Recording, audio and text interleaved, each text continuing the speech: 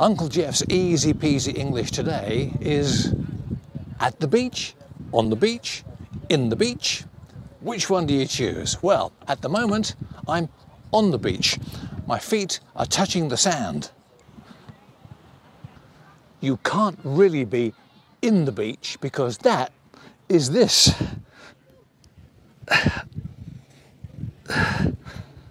And you'd have to be buried. And then, of course, you are at the beach. So you're not quite on the sand, but you're in the vicinity. You're in the area of where the sand is. Uh, here, you can take advantage of all the facilities at the beach. You've got the coffee shop, the restaurants, the bars, uh, the little shop that sells ice cream. You have all the water sport facilities that you can use at the beach. The paddle boards, windsurfing, the little canoes. You can do all of those things at the beach.